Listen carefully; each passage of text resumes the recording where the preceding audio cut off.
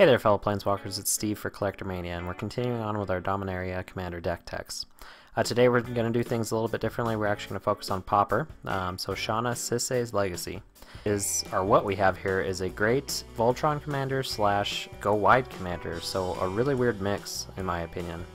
I've kind of built the deck around just throwing some auras on Shanna and then just gathering a giant team of tokens and attacking. Um, and then, you know, add in a few other hexproof creatures into the deck with uh, so a little bit more aura goodness there. um, so overall, I think it's going to be great. Um, I This will probably be the third or fourth deck I built for Pauper, so, you know, Pauper community, let me know if I'm doing a good job here, of course. But with that, let's break into the deck. So of course we've got a Gladecover Scout. I mean, this is just a Bogle go-to card, so just makes 100% sense here. I've got a Hopeful Eidolon, so I tried to fit as many bestow creatures in here as I could. I think the enchantment numbers, as you'll see when we get to the auras, will really matter, plus the recursion with that really matters as well. Then we've got a Soul Warden, some life gain. Thraben Inspector, there's not a whole lot of card draw in these colors in Pauper, so anything that'll draw us a card, usually I'll throw it in, and this is definitely a pretty good card for that. Anointed Priest, so not only a token itself, but also a creature and something that'll gain you a bunch of life as well. And Leafcrown Dryad, so I absolutely love this creature. I mean, being able to give your commander plus two plus two in reach, and then when your commander, for whatever reason, dies, it becomes a creature on its own is amazing. Qasali Pridemage, of course, that exalted trigger, and a little bit of removal as well. Selesnya Evangel, so a really good way to make a, an army slowly. then we've got a Ledgewalker, of course, another Bogle. Attended Knight. comes with two guys on one stick, so pretty good. Aura Gnarlid, so this will be a lot of fun. So two colors and a green. Uh, it's power creatures with power less than Aura Gnarlid's power can't block it. Aura Gnarlid gets plus one plus one for each aura on the battlefield, so this could become really a secondary threat, really. Auramancer, some recursion. Ironclad, Ironclad Slayer, another recursion card. I've got a Jungleborn Pioneer, so I'm not sure how much uh, like color matters in this format, but being able to make an off-color creature might be kind of cool, especially because that off-color creature is hexproof, so could be something you could suit up. Monk Idealist, some more enchantment recursion. Then I've got a Nyxborn Wolf. Yeah, plus three, plus one is pretty good. Ob Observant Alseid. Uh, so two colors and a white. Bestow, Vigilance. Uh, plus two, plus two in Vigilance if it's bestowed. That's uh, amazing enchantment right there. Sacred Wolf, something to put some enchantments on. Yavimaya Enchantress, so plus one, plus one for each enchantment on the battlefield. Ambassador Oak, so just a 3-3 that gives you a 1-1 elf. Jade Guardian, so hexproof, and then enters the battlefield, put a plus one, plus one counter on target elf you control, which will be him.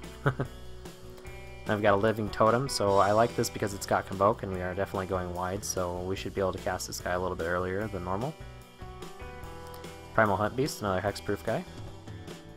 Bramble Elemental, this is a key card in the strategy. I mean, 3 colors, 2 green, whenever an aura becomes attached to Bramble Elemental, create two 1-1 green Saproling creature tokens, and it's a 4-4 on its own, so it's just a beast.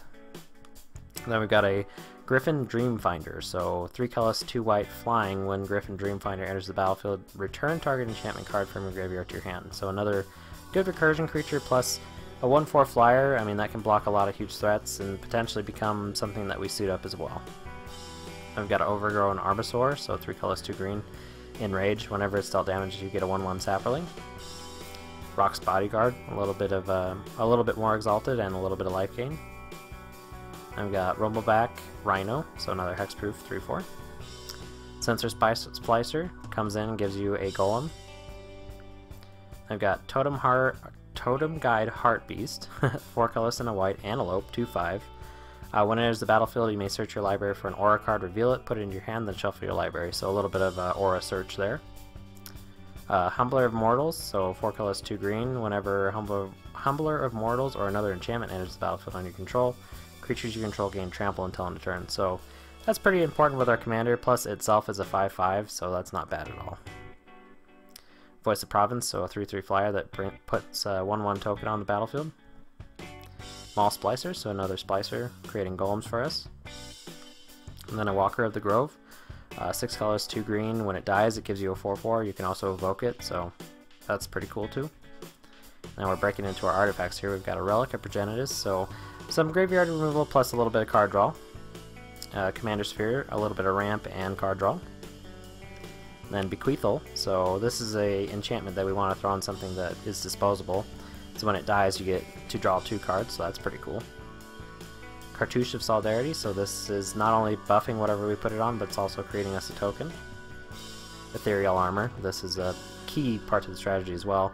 I mean, you throw this on Shauna and have a, a, few auras on the battlefield. Not only is she getting plus one, plus one for all the creatures, she's getting plus one, plus one for all the enchantments. And with the way our deck is built, that should stack up twice sometimes, so that's pretty cool. Hyena Umbra, you know, Totem Armor can never be uh, underappreciated. Aether Web, so I included this card just because I wanted something else to kind of be able to block flying creatures, so the fact that this can also block shadow creatures is kind of cool. I don't know how prevalent they are on the format, but there's always that chance. Bonds of Faith, uh, I've used this card in Standard before. it was actually a lot of fun then. Um, since our commander is a human, we'll most likely just be slapping this on her, but if we need to, we can also just put it on like a demon or, you know, merfolk or whatever we need to to stop it from attacking us or blocking. Then we've got Fists of the Ironwood, so not only does it give our commander trample, but also gives us two 1 1 green Saproling tokens. Ancestral Mask, this is going to be a bonkers draw. I mean, getting plus 2 plus 2 for each other enchantment on the battlefield is going to be ridiculous with Shanna. Armadillo Cloak. Asha's Favor. So this is actually one of the one of my favorite pauper auras that I've found so far. So two colors and a white. Enchanted creature has flying, first strike, and vigilance. I mean, that's a lot of keyword abilities for three.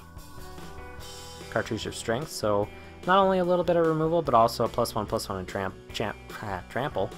Can't talk. I've got a Pentarch Ward, so two colors and a white. Uh, enters the battlefield, choose a color, it becomes protection from that color, and then you get to draw a card as well, so that's really cool. Shield of the Oversoul, so this is a automatic, yeah, include in here. I mean, you slap this on your commander, and you're probably just going to win the game. I mean, indestructible and flying, there's not a whole lot of exile removal, especially because she's hexproof, and there's really no board wipes, so I think you, like I said, just win the game if you get this on Shanna. And Sigil of Denying Gods, so now that plus one plus one for each creature actually stacks twice, so that's absolutely ridiculous. Snake Umbra, a little bit of uh, card draw plus totem armor. Cloudshift, um, with things like Thraben Inspector and like the guy that puts elves out and, you know, all of our token makers, this is just a good include. Druid's Deliverance, so prevent all combat, combat damage and populate. Sundering Growth, destroy an artifact or enchantment, then populate.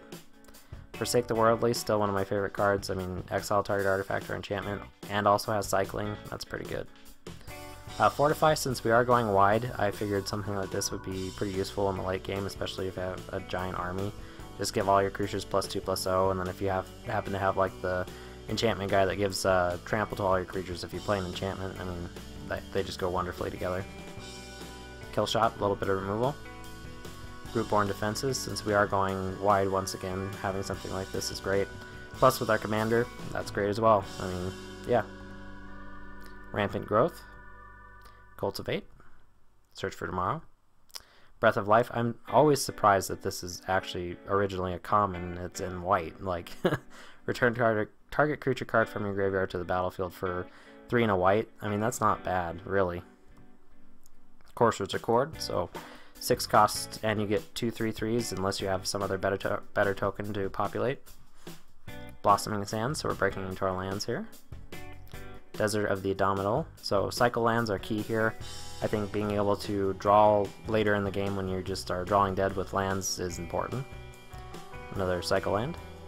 A Khalni Garden, of course, a land that gives us a token. Secluded Steppe, cycle land. Uh, Sejiri Steppe. I think this card is awesome. I mean, for a turn, it gives our commander protection from a color of our choice. So, I mean, if we need to finish somebody off, we just call whatever color we need to to get through. Selesnya Guildgate. Selesnya Sanctuary. Slippery Karst, another Cycle Land. Tranquil Expanse.